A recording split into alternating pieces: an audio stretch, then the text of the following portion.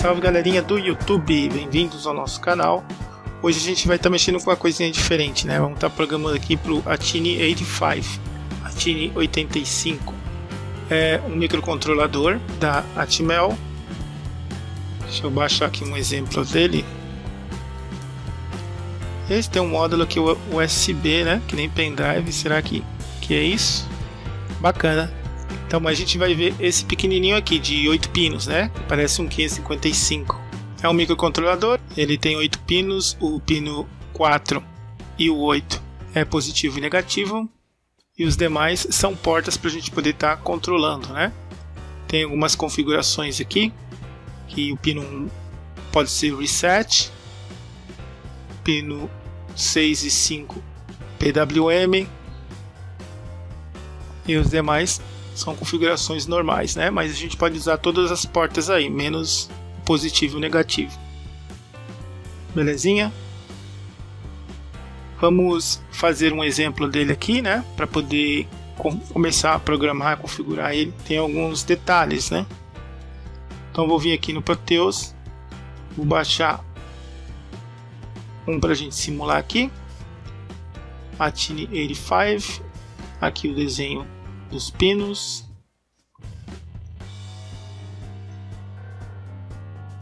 Esse aqui é o gráfico dele no Proteus. Belezinha? Vamos pegar um LED aqui para a gente fazer teste, né? Fazer um blink. Pegar um LED na cor vermelha, qualquer cor aqui. Já é só para teste, né? Bom, vou ligar ele aqui no pino zero, no primeiro pino. E aqui colocar ele no negativo. Não vou colocar resistor não, que aqui é um simulador. Vamos salvar aqui o nosso projeto numa pastinha na área de trabalho, vou chamar de ETN85. Vamos salvar o projeto do Proteus também, né, pessoal não esquecer. Salvar como, na mesma pasta, o mesmo nome, as mesmas flores, o mesmo jardim. Beleza? Tá salvo aí. Beleza, para poder começar a usar ele no sketch do Arduino, a gente tem que fazer umas configurações aqui. Nós vamos aqui em Arquivo, Preferências, e nessa barra aqui a gente cola um endereço para a gente poder estar tá adaptando a biblioteca dele, né? Eu vou deixar esse link aqui na descrição para o pessoal só copiar, colar aqui, apertar OK, beleza. Agora a gente vai em Ferramentas. O meu já está instalado, então vai estar tá um pouquinho diferente mas no do pessoal aqui vem placas, gerenciador de placas, depois de pôr o endereço, né, que a gente colocou lá no comecinho. Aí ele vai vir aqui para esta página, só digitar aqui o Atine 85, só vai ter essa opção aqui, ó, Atine. A gente instala ele, beleza? Eu já instalei o meu e já está pronto aí, né? Bom, aqui para poder utilizar a configuração, a gente vem em placa, coloca no microcontrolador aqui a TIN85. Seleciona o processador também, né? Que também é TIN85, não pode esquecer.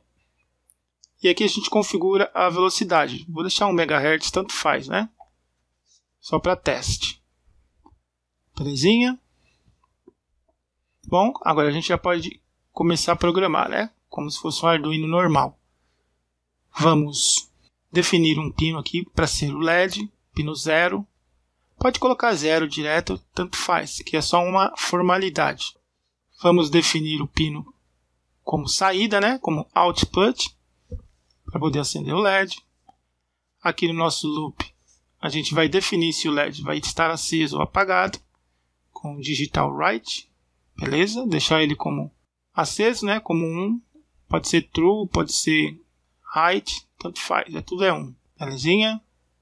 Bom, e é isso. Vamos salvar o código, que nem a gente faz sempre. Quem tiver o Atine já vai direto, né? Apesar que é bem chatinho de gravar ele, né? Tem vários exemplos aí na internet, o pessoal dá uma pesquisada. Aqui a gente vai colar o código para o nosso simulador. Então, ok. E ainda vai ter um problema. Vamos testar para ver, ó.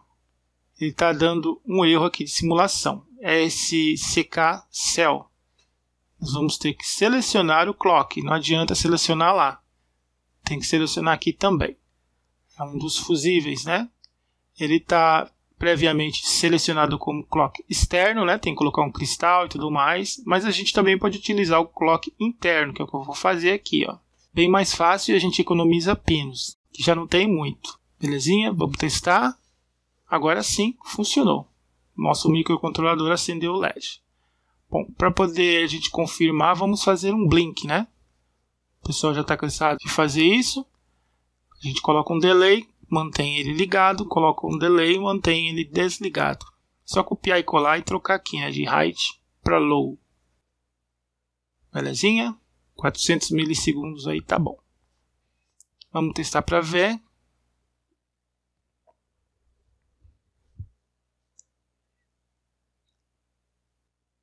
Joia, joia. Beleza, tá aí o nosso Blink. Bem fácil, né? Ele é bem econômico, bem compacto também. Fazer um projeto diferente aqui para a gente testar todas as portas, ok? Eu vou colocar cinco LEDs aqui, vou ligar todos eles, cada um em um pino e a saída dele para o terra. Belezinha? Bom, agora a gente volta aqui no sketch e vamos acionar esses LEDs. A gente vai remover essa definição aqui, é só para o pessoal entender. Vamos criar um laço for, vamos estar tá contando até 5, né?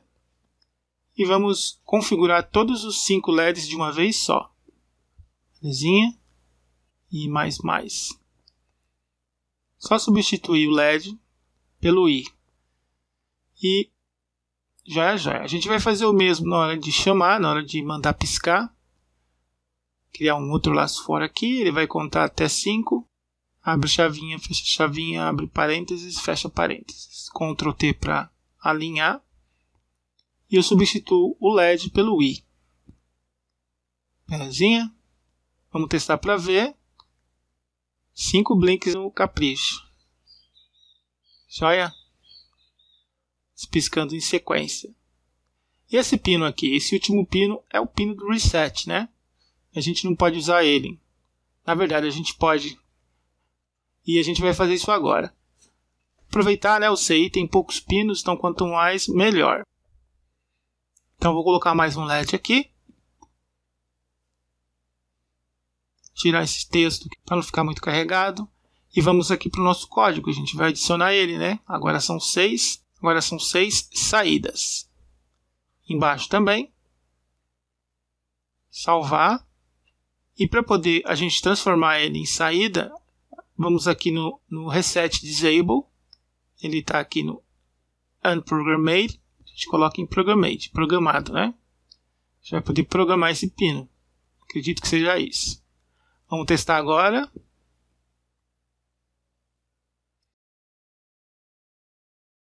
Joia, joia. Esse pino também está funcionando. Um a mais aí para a gente utilizar no nosso Atine, né? Essa configuração desse pino reset tem um problema com determinado gravador aí. Eu estava vendo no fórum e você vai precisar do reset para poder gravar. Aí não tem como colocar ele como saída, né? Mas tem outras opções aí, isso se o pessoal precisar, né? Bom, espero que o pessoal tenha gostado, tenha entendido aí. A gente programar com esse microcontrolador tão bacana, né? Até a próxima aí, galera. Quem gostou, dá um like. Valeu!